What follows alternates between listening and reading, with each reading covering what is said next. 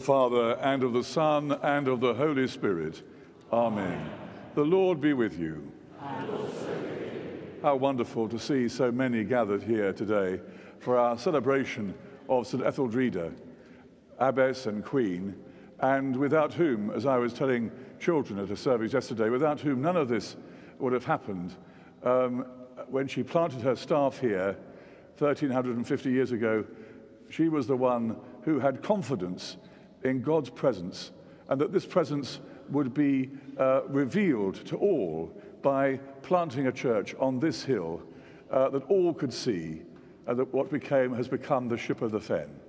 And we, we're delighted, very delighted indeed, that uh, Archbishop Stephen is, is here with us today. It's a great honor and pleasure to have you here with us, Father, and, and, and wonderful that we can, in this, in this glorious sunshine, celebrate the faith of Etheldreda and rejoice that we still are served by her prayers in heaven.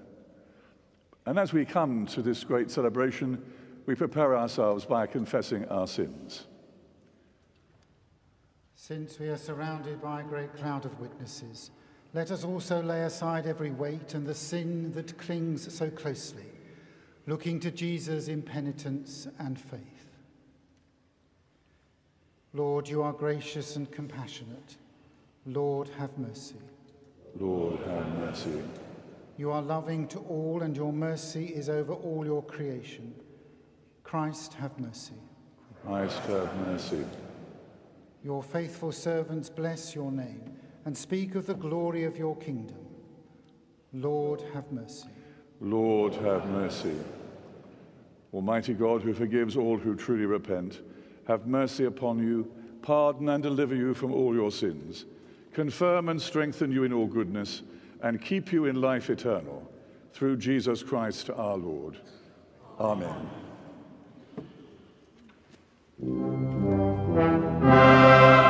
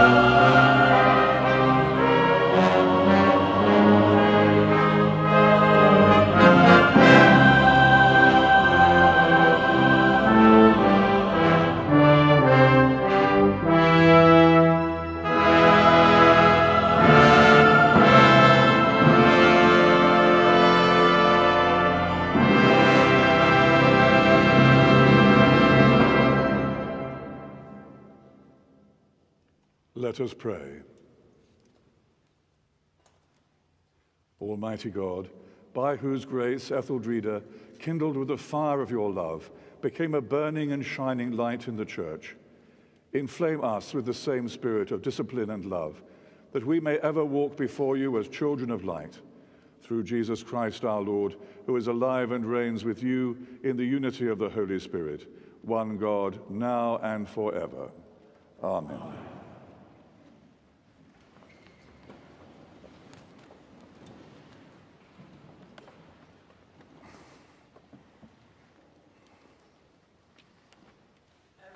From the first letter of Peter. Rid yourselves, therefore, of all malice, of all guile, insincerity, envy, and all slander. Like newborn infants, long for the pure spiritual milk, so that by it you may grow into salvation, if indeed you have tasted that the Lord is good.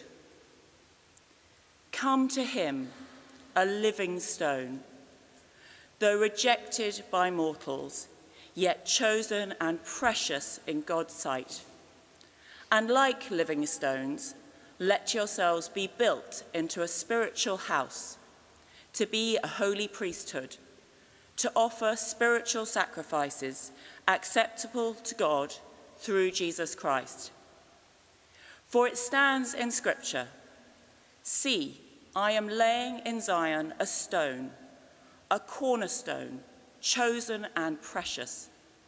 And whoever believes in him will not be put to shame. To you, then, who believe, he is precious.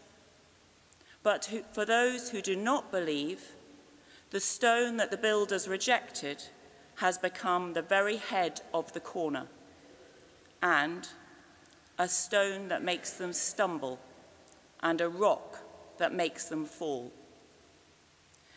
They stumble because they disobey the word, as they were destined to do. But you are a chosen race, a royal priesthood, a holy nation, God's own people in order that you may proclaim the mighty acts of him who called you out of darkness into his marvelous light. Once you were not a people, but now you are God's people. Once you had not received mercy, but now you have received mercy. For the word of the Lord. Thanks be to God.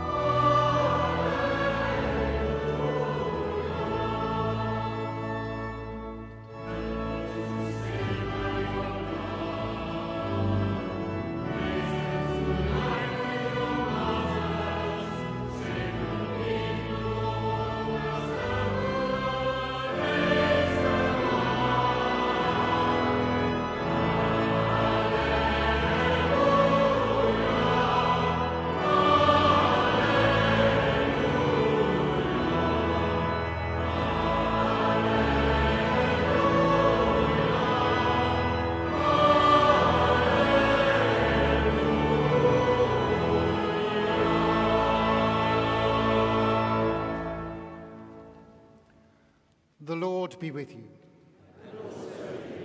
Hear the gospel of our Lord Jesus Christ according to Matthew.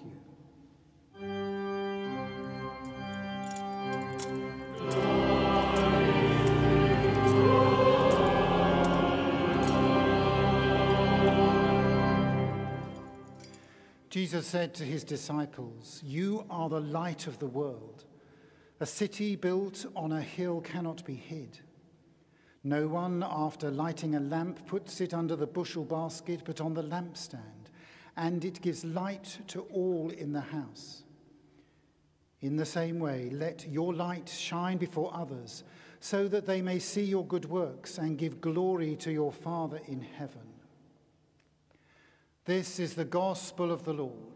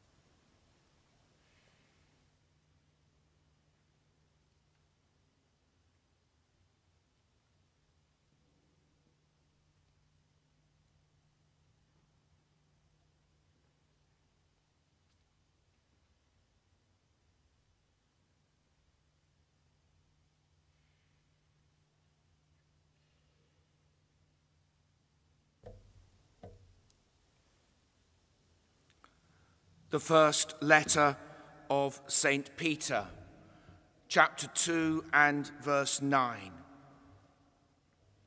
You are a chosen race, a royal priesthood, a holy nation, God's own people, in order that you may proclaim the mighty acts of Him who called you out of darkness into his marvelous light.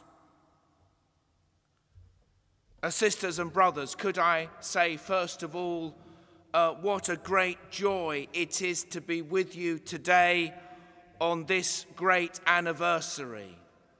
A joy to be in this beautiful cathedral church of Ely. Um, a joy to be here alongside my dear brother Stephen on almost the last lap uh, of his journey as your bishop and as he prepares uh, to move slightly north to Lincoln, not, not, not far enough north to reach the real promised land of the northern province, but getting there, getting there. Uh, and a joy also, since the Dean is also an old dear fri- friend of mine, uh, to be here alongside him but alongside all of you. Uh, I thank God for Stephen's very faithful ministry as bishop here, for all that Mark does, and for your witness to the gospel in this diocese.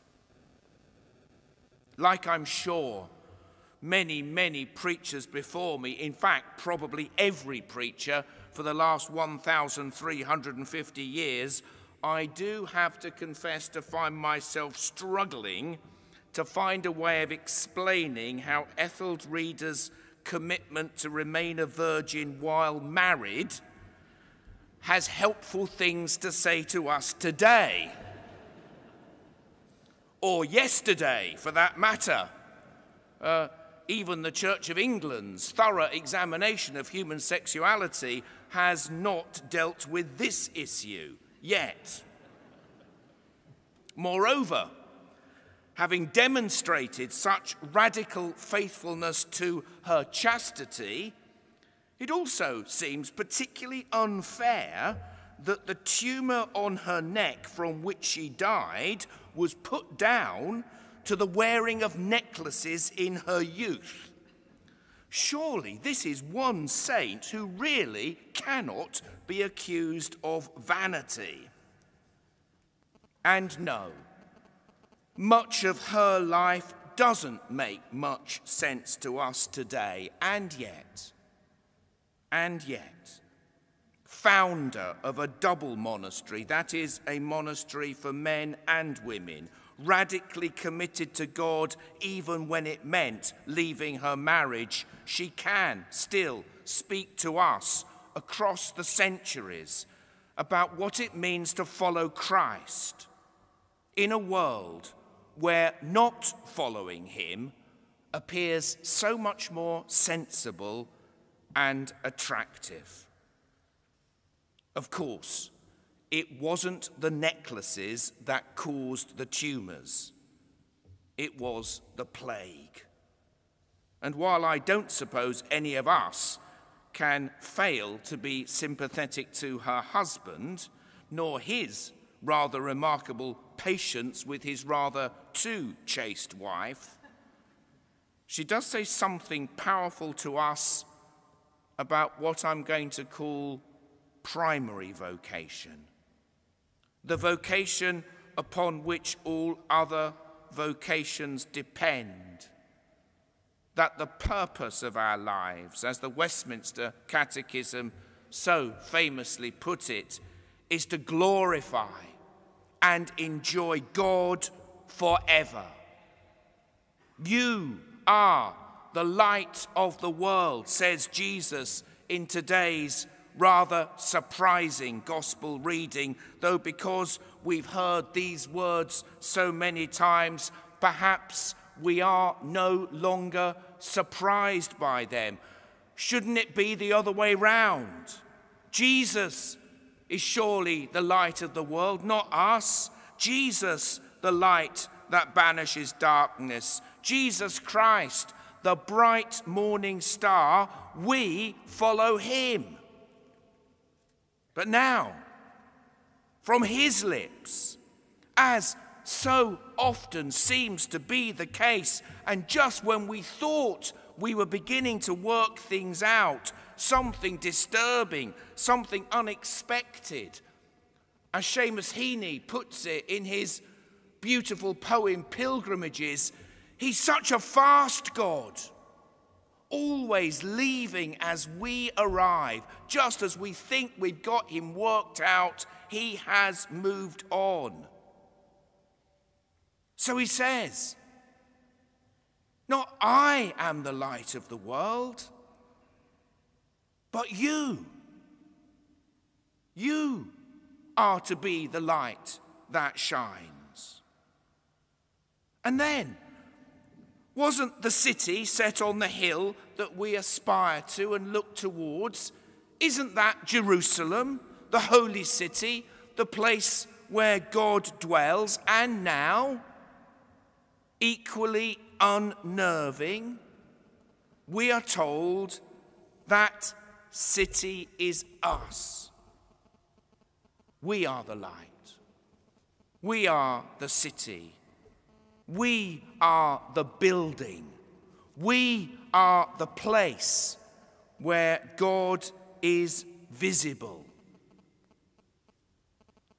Etheldreda and all the saints, however provocative, alarming, surprising, and disturbing their stories are, point in this one direction. That the light that shone so brightly in the face of Jesus Christ now can shine in us. That we, with our unveiled faces, reflecting the glory that we see, are being transformed, changed changed into the beautiful likeness of the Jesus we see and receive. We celebrate the 1350th anniversary of Etheldreda today and the foundation of the abbey upon which this great cathedral church is built, but the story it tells, the song it sings, is of lives transformed, of the pursuit of holiness. So much so that we gathered here this morning are the inheritors of the promise that the light of Jesus Christ can shine and be radiant in the lives of those who follow him. What we might call luminous Christianity. And just for a moment, think of the people, those who have made Christ visible in your life, the unsung, faithful, godly heroes of your life and your parish church and a hundred parish churches. Did not these people have about them a translucence and a radiance so simply to be in their presence was to come close to God? And the beautiful, astonishing thing about the Christian story is that by God's Holy Spirit, this is available to all of us. And it is certainly the way the world and all its peoples so mired in darkness, difficulty, compromise, and confusion, all the horrors and injustices that beset our world and all its glorious opportunities for service and for witness. This is how people will find us. It is because our light will shine, that having given ourselves to dwell closely in the presence of Christ, to feed on his word and be fed by the iron rations of the sacrament, we are changed and in finding us and seeing Christ in us, people find and see Christ. Our light shines as it shone in the radical and challenging discipleship of Etheldreda, so it will shine in us. And sisters and brothers, it will be very beautiful. The Blessed wrote W.H. Auden, in his wonderful poem in praise of limestone, says this The blessed won't care what angle they are viewed from, for they have nothing to hide. The true and astonishing beauty of a transparent and a translucent life Now, of course, I speak to you as one who is a million miles away from this. I talk a good game. But it is what I long for, for myself and for the church I serve, so that the world may believe. And beautiful, beautiful Ely Cathedral I'm on message. I did my homework. I read your website. Joyfully proclaiming the love of God in worship, outreach, welcome, and care. That's your strap line. And with your beautiful, beautiful lantern tower almost floating in the gentle landscape of the fens, I need to remind you you are not the city set on a hill. You are not the New Jerusalem. That is a joy and privilege reserved for us because of our baptism into Christ, called to do in our day what Etheldreda did in hers through compassionate, committed, radical discipleship, through following Jesus and allowing by the Spirit his light to inhabit us. And may that Spirit sustain us and gloriously shine out from us the best advertisement for the gospel. In fact, the only one that works. Beautiful, beautiful holiness. And this week, back in York, where I'm seeing those I will be ordaining as deacon next weekend, through my door on Wednesday afternoon came such a picture of grace. Someone whose tenacious, tenacious gospel faithfulness and fiercely wrought simplicity shone brightly with the light of Christ, filled my study with joy, and in whose presence I felt blessed. Not Etheldreda, born again, as it might be romantically tempting to wonder, especially today, but Christ, present and visible in those who follow him. Christ, rebuilding his church with the bricks and mortars of our lives. We, the living stones, being built into a spiritual house, which is why, because this is what we need and this is the only thing we need for the Church of England in these 2020s, we have a vision. It is the most incredibly obvious thing anyone could ever say about the church, and it is so endlessly profound, we will spend our lifetimes plumbing its depths. We are called to be a Christ centered and a Jesus Christ shaped church. I was talking about, I mean, like most preachers, I've only got one sermon. I, I, I, I do actually, um, I do actually, every time I sit down to write a sermon, I really do intend to write a new one. That is always my intention. But like most preachers, I just end up writing the same one again. Endless variations on the theme that the gospel is beautiful and that the gospel can change our lives, and when our lives change, the world changes. But I was speaking about this on another occasion a few weeks ago um, about how we need to dwell in the presence of Christ and be changed by Christ. And, and after the service, somebody came up to me and said, so, so how long does that take? I was able to give them a precise answer. I said, it takes exactly one lifetime which by happy coincidence is exactly how much time each one of us has got.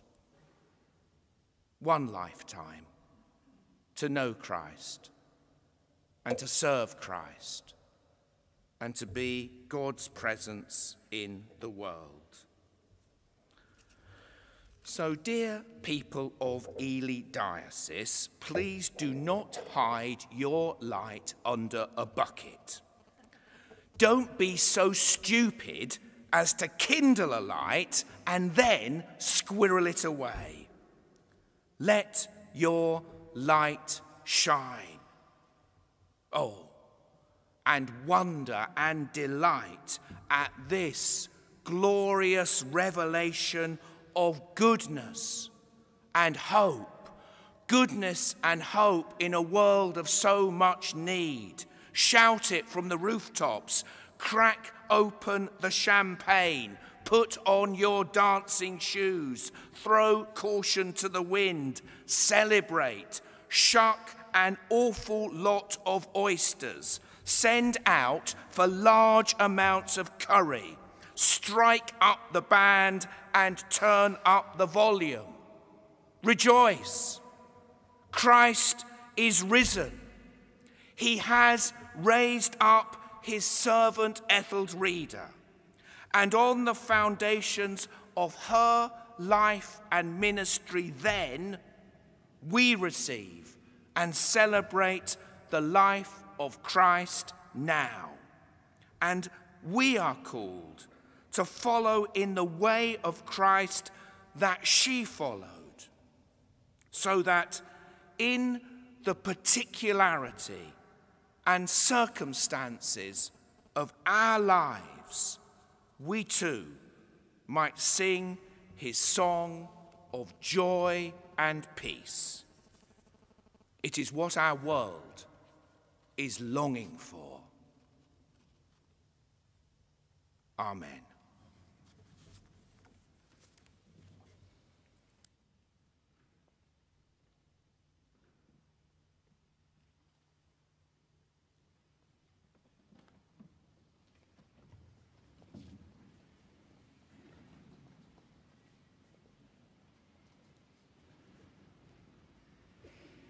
Together in faith. Holy, holy, holy is the Lord God Almighty, who was and is and is to come. We believe in God the Father who created all things, for by his will they were created and have their being. We believe in God the Son who was slain, for with his blood he purchased us for God from every tribe and language from every people and nation. We believe in God the Holy Spirit. The Spirit and the bride say, Come. Even so, come, Lord Jesus. Amen. In the power of the Spirit and in union with Christ, let us pray to the Father.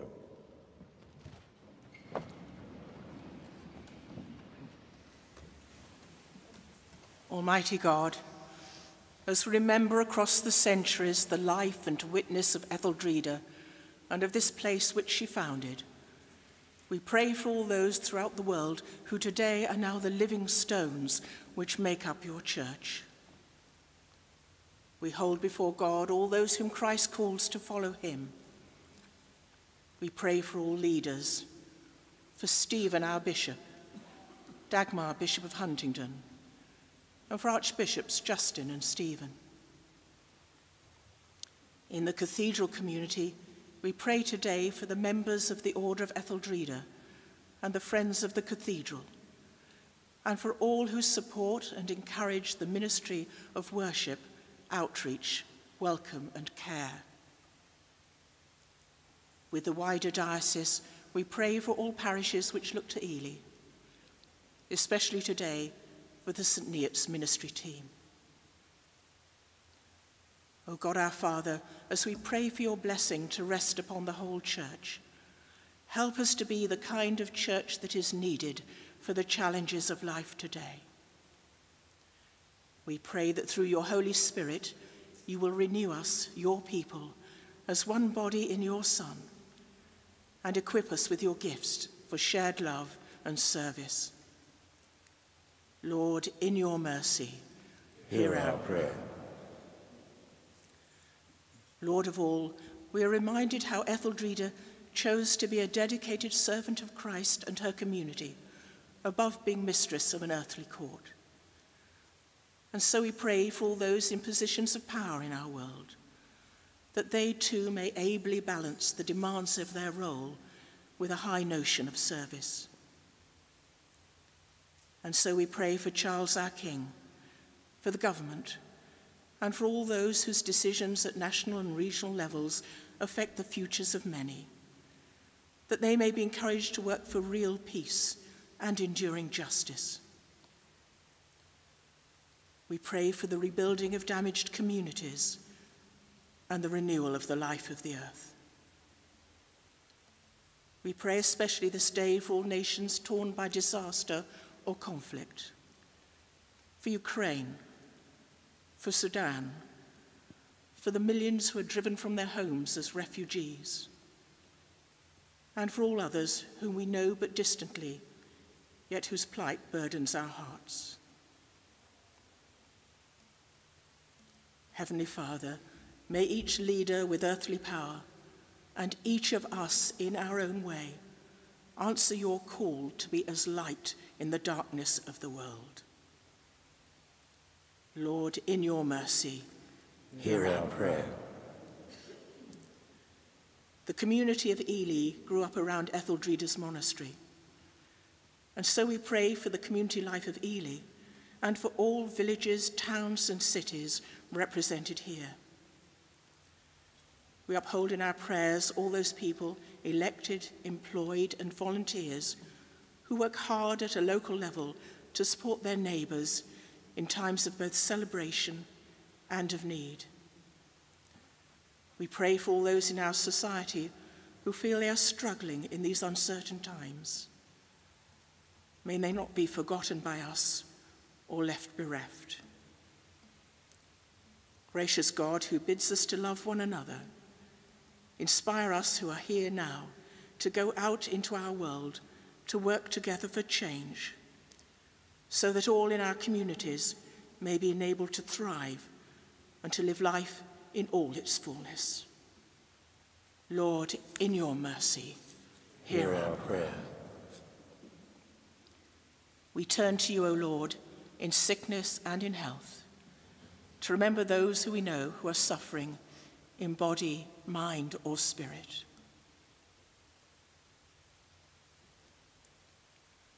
We pray for those who stand alongside others as carers and companions, often feeling helpless and exhausted.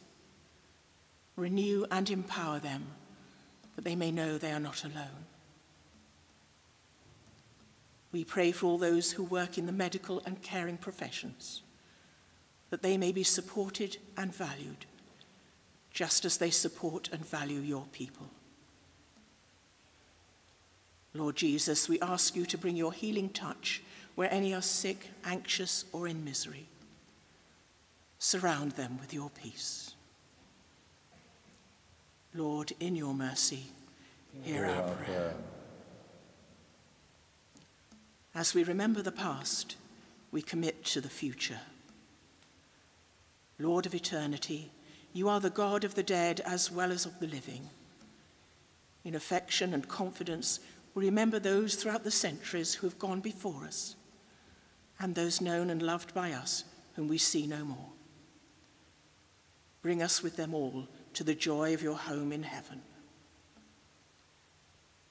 Rejoicing in the communion of Etheldreda and all the saints, we commend ourselves and one another and all of our lives to God.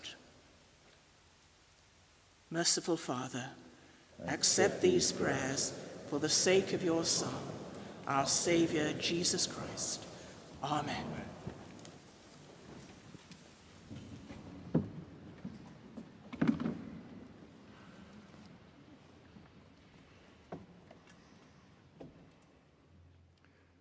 We are fellow citizens with the saints and all the household of God through Christ our Lord, who came and preached peace to those who are far off and those who are near.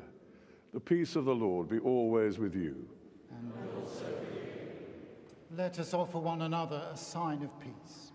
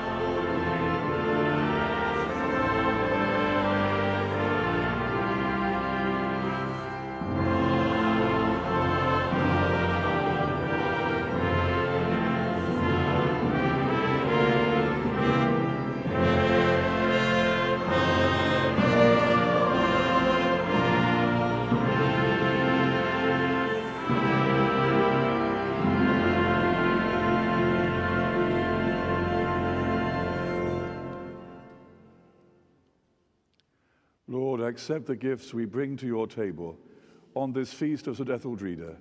Free us from the things that keep us from you, and teach us to seek you in, as our only good. We ask this through Christ our Lord. Amen. The Lord be with you. Lift up your hearts. Let us give thanks to the Lord our God. It is truly right and good, our duty and our salvation, always and everywhere to give you thanks, Holy Father, Almighty and eternal God, through Jesus Christ our Lord. This day we honor you in St. Etheldreda, who consecrated her life to Christ for the sake of the kingdom of heaven. In her you show us your saving love, as you call the human race back to its first holiness and invite us to taste on earth the gifts of the world to come. In communion with angels and archangels and all who served you on earth and worship you now in heaven, we raise our voice to proclaim your glory, forever praising you and singing.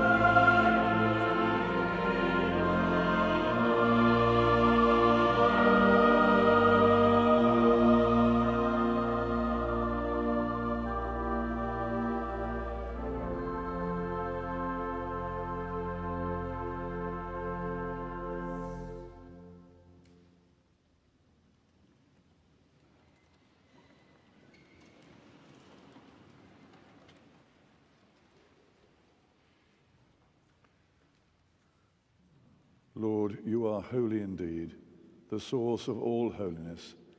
grant that by the power of your Holy Spirit and according to your holy will, these gifts of bread and wine may be to us the body and blood of our Lord Jesus Christ, who in the same night that he was betrayed took bread and gave you thanks. He broke it and gave it to his disciples, saying, Take, eat. This is my body, which is given for you. Do this in remembrance of me.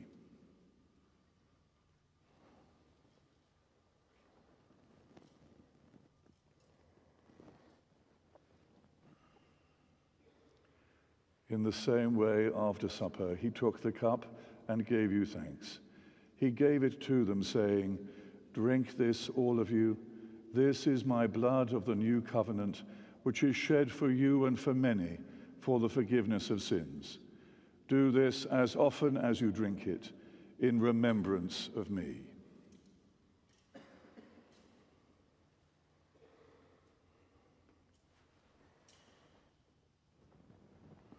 Great is the mystery of faith.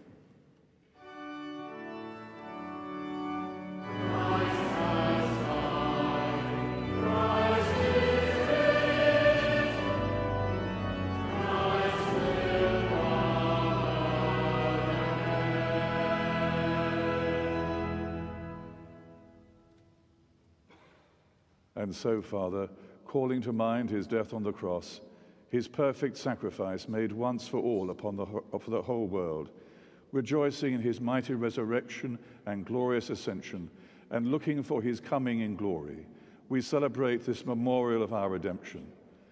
As we offer you this, our sacrifice of th- praise and thanksgiving, we bring before you this bread and this cup, and we thank you for counting us worthy to stand in your presence and serve you.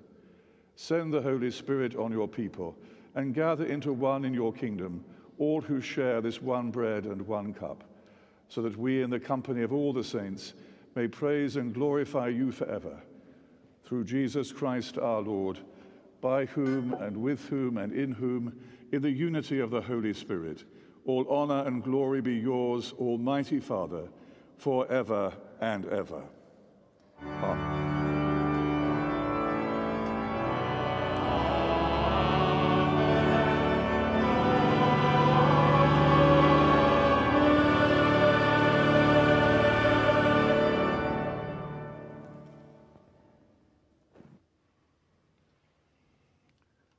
Let us pray with confidence as our Saviour has taught us. Our Father, who art in heaven, hallowed be thy name. Thy kingdom come, thy will be done, on earth as it is in heaven. Give us this day our daily bread, and forgive us our trespasses, as we forgive those who trespass against us. And lead us not into temptation, but deliver us from evil. For thine is the kingdom, the power, and the glory, forever and ever. Amen. We break this bread to share in the body of Christ. Though we are many, we are one body, because we all share in one bread.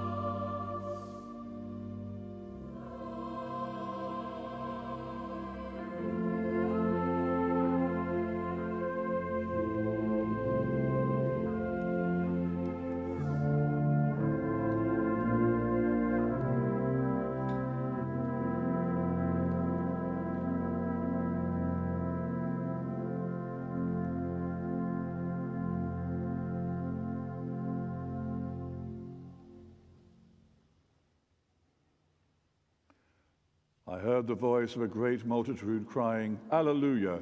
The Lord our God has entered into his kingdom. Blessed are those who are called to the supper of the Lamb.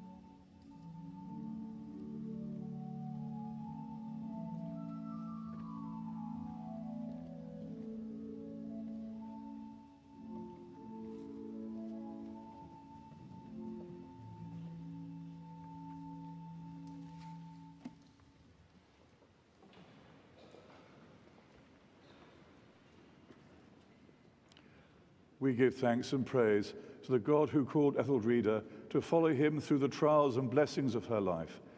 As we mark the 1350th anniversary of her founding of this house of prayer, we pray that God will strengthen us with the same spirit of dedication and purpose, so we too may shine like lights in our own generation to his honor and glory.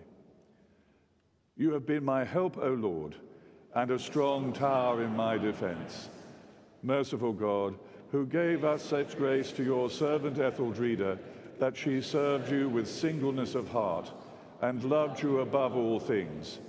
Help us, whose communion with you has been renewed in this sacrament, to forsake all that holds us back from following Christ, and to grow into his likeness from glory to glory, through Jesus Christ our Lord.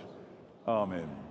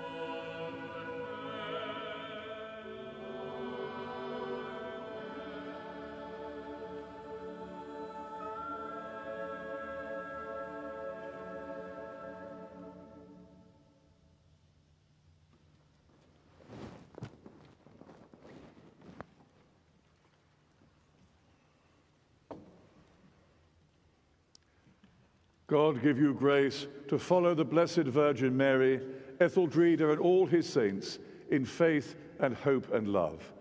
And the blessing of God Almighty, the Father, the Son, and the Holy Spirit rest upon you and remain with you always.